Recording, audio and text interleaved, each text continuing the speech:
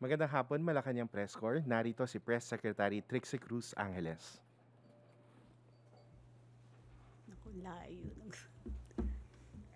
Um, magandang umaga. I was going to announce the various, uh, the new officials who have been appointed. Hindi ko mabasa. Yung iPad na. Give me a second, sorry.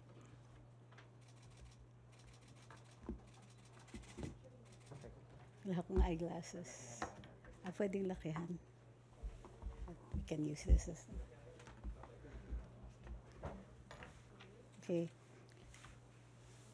On the developments of filling up of other government positions, President Marcos has appointed five new officials to different government offices.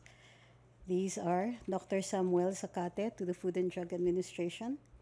Dr. Zacate is a known public health advocate with years of expertise in medicine and medical consultancy in other government units and offices, including the Public Attorney's Office, the Presidential Security Group Hospital, and others.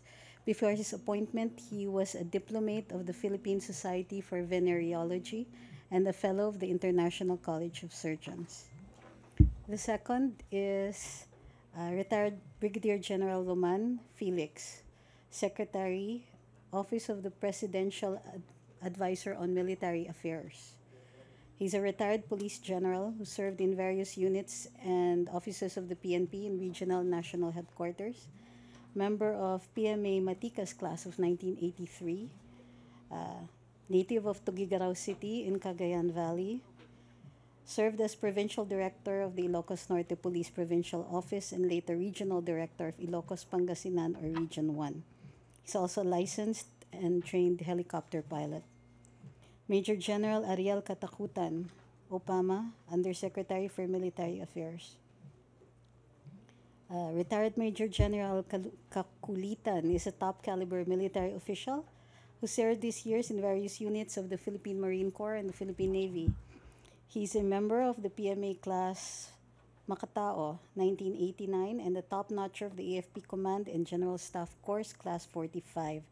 He was the 33rd Commandant of the Philippine Military, uh, sorry, of the Philippine Marine Corps. Among other military posts, he was he commanded the Naval Reserve Force, Combat and Service Support Brigade, Marine Corps Force Development Center, and the Philippine Peacekeeping Contingent to Haiti from nine, 2009 to 2011. In 2015, he received the Best Flying Award as a naval aviator. He's also an awardee of the 10 Outstanding Filipino Soldiers by the Metrobank Foundation. Next, Undersecretary for Police Affairs, General Isagani Neres. Retired Police General Neres is a member of the PMA Maharlika class of 1984. He's also a lawyer, served in various capacities in the units of the Philippine National Police, such as the Police Anti-Crime Emergency Response and the Directorate for Integrated Police Operations, Eastern Mindanao.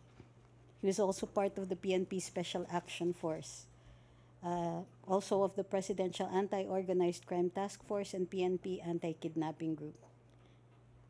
Attorney Nesauro Ferme to the Judicial and Bar Council representing the Academe. Attorney Ferme is a law professor and practitioner, obtained his Bachelor of Laws degree in the Faculty of Civil Law of the University of Santo Tomas, worked as an executive assistant at the Metropolitan Manila Development Authority and senior partner of Oliva Firme and Associates, former faculty of the College of Law of the Polytechnic University of the Philippines and Jose Rizal University, respectively. Questions? First question, Mela Las Moras of PTV.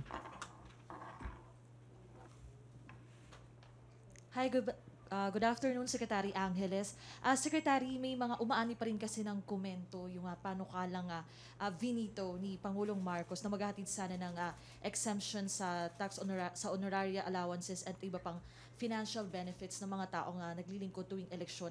At nalala, kung matutuloy, magkakaroon kasi ng eleksyon uh, ngayong taon. Uh, can we explain po uh, the reasons behind this at uh, ano po kaya yung pwedeng maging tulong ng pamahalaan for uh, election workers? Okay, lagyan natin ng konteksto ito. Wala po tayong tinatanggal sa ating mga uh, uh, government employees who will be rendering poll service. may proposal in the bill na gawing tax exempt ang kanilang honoraria at saka travel allowances. Now, uh, yung pag-veto ng presidente is a matter of good housekeeping. Ang ating tax system, di ba nireforma natin ito? Sa pagre-reforma, ginawa natin maayos, tinanggal natin yung mga benepisyo, mga exemptions, at kung ano-ano pa na binibigay to various groups. Sa dami dati ng binibigyan ng ganon, medyo magulo na yung sistema, hindi natin alam sino yung mga nagbe-benefit dito at kung makatarungan nga na so many people are exempt or have tax breaks or tax benefits. So inayos natin yan under the tax reform laws. So yung mga ganitong proposal, ay parang binabalik tayo dun sa dating sistema na marami na naman tayong exemptions at benepisyo na binibigay na nakakakos ng confusion sa ating sistema. Imbis na ganito, ang sinasabi ng ating Pangulo, magbigay tayo ng form of ayuda sa ating mga poll workers. Imbis na gagaw- uh, yung benepisyo ay gagawin natin sa pamamaraan ng pagtatanggal ng pagbubuwis. That way, maayos yung pangungulekta natin, yung sistema ng pangungulekta ng buwis, pero matutulungan pa rin natin sila. So, yun po yung ano, yun po yung konteksto noon. Bukod pa dito, gusto ko lang linawin, no. Uh, hindi po nagkaroon ng vote, ano, veto spree ang ating pangulo. 41 law, bills lapsed into law and only 5 were vetoed. Hindi kasama dun sa 41. So, it's not a spree So, tinotono lang naman ng ating Pangulo dun sa mga sistema yung mga batas natin. So, lalong-lalo na yung mga batas that involve some kind of tax break or tax benefits, itotono mo dun sa ating polisiya of tax reform. So, yun lang po yun. Hindi natin po tinatanggalan ng benepisyo ang mga poll, work, poll workers natin ang ginagawa po natin ay inaayos yung sistema without discounting the possibility na pwede pa rin silang bigyan ng ayuda. Ma'am, uh, dun po sa nabanggit nyo, ano-ano po ba yung mga, specifically yung mga vinito? Dun, ay, yung lima lang po. Uh, if you recall, yung sa San Miguel, uh, yung, what do you call this, yung Freeport at saka economic zone, no? So, the, itong sa poll workers, We had three others. I'm sorry. I have the list. Pinamigay ko yung list. Ito. Andiyan na po sa inyo. Yan, binigyan ko kayo ng handouts. Doon sa bottom po, yung lima. Yung 41, nasa umpisa. Ayan po. Okay. Thank you po, uh, Secretary Trixie. So, ulitin natin para sa ano for the benefit of your ano of your viewers. Ang mga na-veto po ay yung Bulacan Airport City Special Economic Zone, yung charter, bagong charter of the Office of the Government Corporate Council. Ang dahilan dito ay dahil excessive yung ibang benefits among others no? Pati yung ano yung relationship between the OGCC yung council at saka ang Secretary of Justice medyo na naiba. So parang lumalabas na mag-equal sila when that cannot be the case. So it uh, veto din yung Davao Light and Power Company na franchise kasi nag encroach siya doon sa area ng North Davao na franchise. Uh, the Philippine Transportation Safety Board Act at tapos itong exempting from income taxation honoraria allowances and other financial benefits of persons rendering services during elections. So just five. Dun sa ano, sa iba medyo mahaba na yan. Kaya nyo na yan. 41 yan. Okay? So let's just place it into context. Uh, tandaan din po natin na ang presidente natin bagong pasok. So yung mga batas na ito, nung ginagawa yan, hindi pa po presidente si President Marcos and they might have been in sync with the previous administration. So, meron talagang adjustment period. Wini-welcome naman po natin yung pag uh, yung LEDAC at saka yung iba-ibang mga paraan para maitono natin yung puntirya, yung vision ng Pangulo natin, yung kanyang legislative agenda with that of the Congress and the Senate. Next question, Pia Gutierrez, ABS-CBN. Hi ma'am, good afternoon. Ma'am, tungkol lang po kay FVR, has the President offered to hold a state funeral for former President FVR and uh, will the President visit the wake po? Um, we have no confirmation of the president visiting the wake kasi hindi talaga natin ina-announce yun for security reasons. Uh, the state funeral is a, a right of uh, the family of a deceased president. So yes, he will be accorded a state funeral with full military honors. Dennis Hamito, Bombo Radio.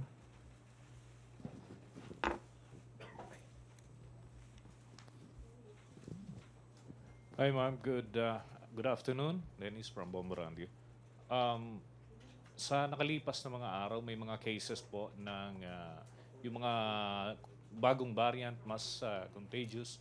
Uh, wala bang uh, adjustment doon sa mga policy natin, mga protocol? May meeting na ba ang uh, IATF para kung sakali man for adjustment or what? Ang primary agency natin dito ay ang Department of Health at ang sinasabi nila is that the variant is more contagious but not deadlier. So pareho pa rin so far ang ating mga protocols subject of course to continuing study by the DOH. How, how about po yung uh, actions natin on monkeypox? May, may mga pagbabago na ba? Ah, dahil may mga pag-aaral nang lumalabas sa international, yung mga scientist. ah, ano, ano pong ah, development kung meron man? Well, yung initial case na na-discover natin na may monkeypox dito ay uh, gumaling na po. So there are no further cases. Gayunpaman, ayon sa DOH, sila po ay naghanda na in accordance with Republic Act 11332 or the mandatory reporting of contagious diseases. So uh, dahil may konting practice na under COVID, they have already set these measures into place.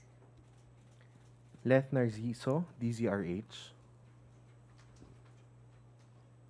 Good afternoon, Secretary. Sa second quarter survey ng SWS, may 12.2 million na pamilyang Pilipino nagsabing may hirap sila. Ano pong reaksyon ng palasyo dito?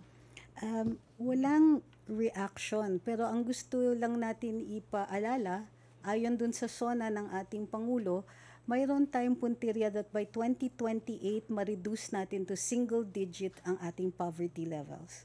So tuloy-tuloy pa rin yon.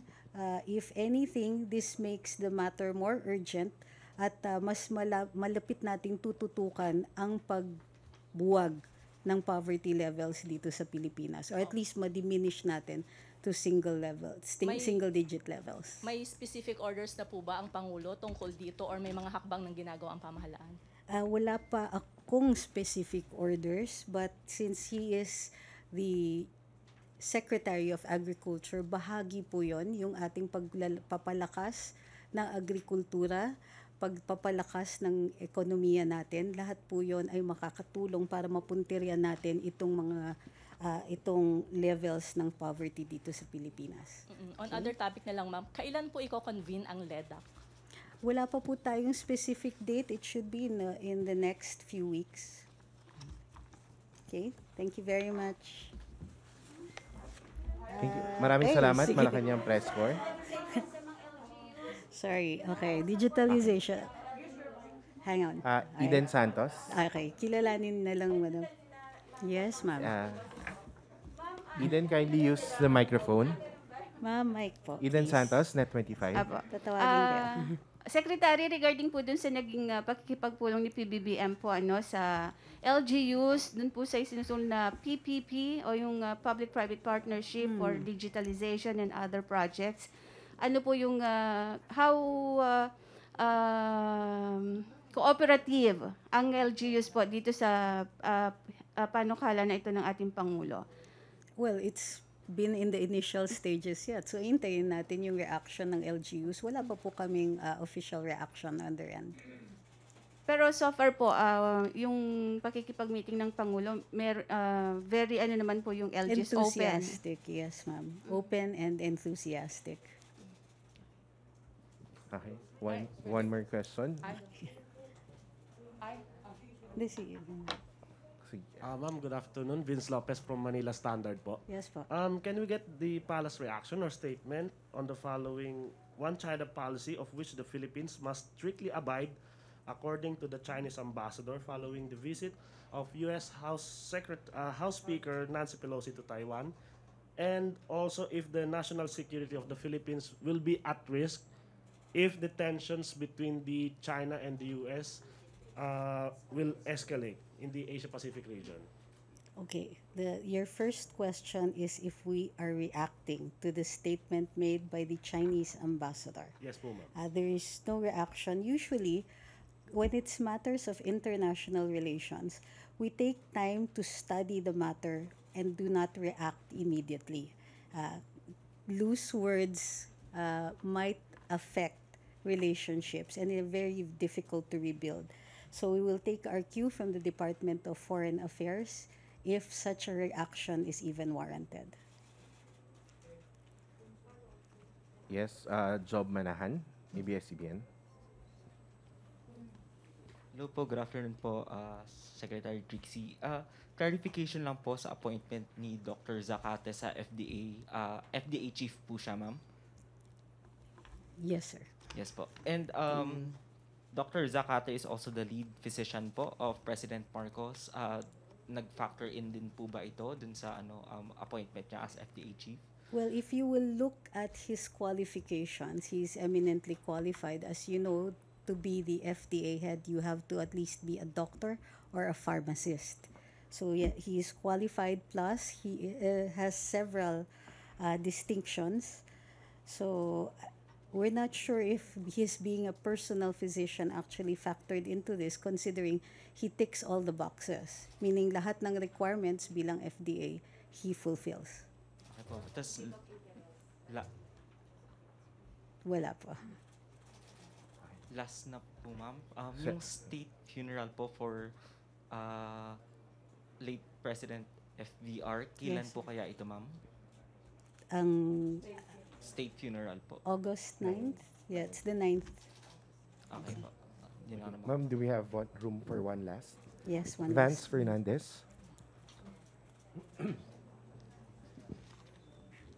Uh, a follow-up regarding Pelosi, ma'am, no? Is there any growing concerns from the DFA over China's intensifying warnings over the visit? Or is there any growing concern from the DND and AFP over the deployment of four aircraft carriers of the United States Navy in the local regional waters and the potential Chinese response over it? Any reaction on this, please? Wait, your question was, is there any rising Yes. uh, concern? Yes. Or if we're going to react to it? Yes. Like I said, on matters of international relations, reactions are studied. We don't make uh, knee-jerk reactions because they could adversely affect international relations. Suffice it to say that our military and our DFA are closely monitoring the situation as they would in any other similar circumstance. Okay? Thank you very much, ma'am. Thank you. Thank you, Secretary Trixie. Thank you, Malacanang Press Corps.